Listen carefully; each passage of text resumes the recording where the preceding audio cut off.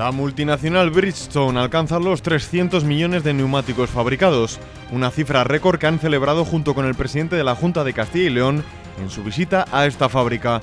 Mañueco ha anunciado la intención de la Junta de bajar un 15% el precio del suelo público industrial para mejorar el acceso de inversores. Necesitamos más y mejor suelo industrial y también necesitamos ese suelo industrial que sea más barato. Antes de finalizar este año queremos bajar al menos un 15% de media el precio del suelo público industrial. Por primera vez una ciudad de interior acoge la reunión anual del Foro Aduanero.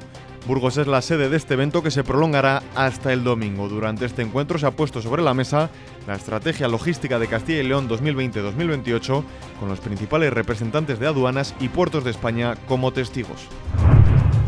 El Ayuntamiento de Burgos creará un grupo de trabajo para estudiar la puesta en marcha de las pulseras dotadas del botón del pánico, una medida que pretende prevenir agresiones sexuales a las mujeres. La propuesta presentada por Ciudadanos cuenta con el apoyo de todas las fuerzas políticas a excepción de Vox.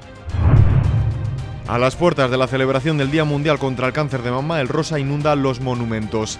El Museo de la Evolución Humana y el Arco de Santa María también cambian de color para reivindicar esta causa y los avances en su investigación.